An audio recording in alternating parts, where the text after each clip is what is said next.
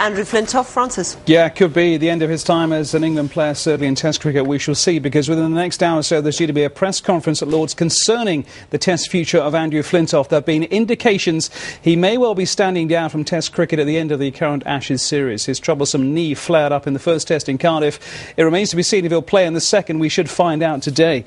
Well, our cricket correspondent Jonathan Agnew is at Lord's. And Jonathan, how likely is it that Flintoff is going to stand down from Test cricket? Uh, good morning. Well, I'm expecting confirmation of that in about 12 minutes uh, at 11 o'clock, where uh, there's an announcement from the ECB, and uh, I understand that it is going to be that Andrew Flintoff will, will call a halt to his Test career at the end of this series. So he's going to try his best, obviously, to get through this. But he's an injury-prone quick bowler, as, as, as, we know. There's a very lucrative uh, one-day circuit out there in, in the cricket world, the IPL and so on. He, I think he's still going to say that he wants to play one-day cricket for England, but it's a recognition of the fact that Test cricket in particular is simply too much like hard work for him now. His body can't take it. We're still waiting, of course, to see if he can play in this Test match starting tomorrow because he has a, a knee problem. So uh, that's what we're expecting at 11 o'clock. What, sort of pounding does someone like Flintoff take in Test cricket, Jonathan? Because it seems every few weeks we have to talk about another injury, be it a knee or an ankle. That's right, and that, that's, that's why I think he's going to call it a day. I think he's, he's aware of the speculation. We've all been speculating about this now for, for months, about him probably being the first person, if you like, to retire and go off and,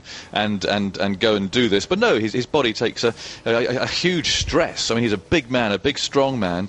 Uh, he, he delivers the ball at 90 odd miles an hour. He comes pounding in, he's hammering that left foot into the ground, twisting on his knees. I mean, fast bowling is seriously hard work, and he is a very physical fast bowler. Some you know, make it more easy than others, if you like. So, I mean, his record shows that he has struggled to maintain his fitness uh, throughout. And yet, you know, if you look at his the, the bare bones, like the, the, cold facts of his career, you look at it and say, in some ways, it's been quite disappointing. 75 tests he's played. His, his bowling average is 32, which is which is high. He's only taken two five-wicket hauls. Uh, his batting average 31, quite low, 500s. And you know, there was much more to Andrew Flintoff, of course, than that, than statistics. As usual, they tell only half the story, the, the charisma, uh, the character, uh, the, the, way that people fed off his enthusiasm, his brilliant slip catching. All these are things that obviously add to that Flintoff picture. But maybe in 10 years' time, people who, who haven't been lucky enough to see Flintoff play at Test cricket might say, was he really that good?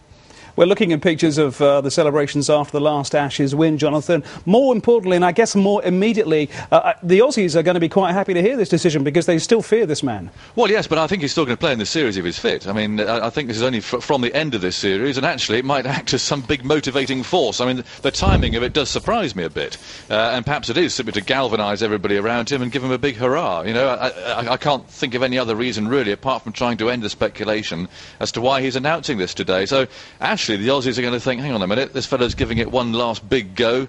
Um, you know, we better watch out. All right, Jonathan Agnew Lord's, thank you very much indeed.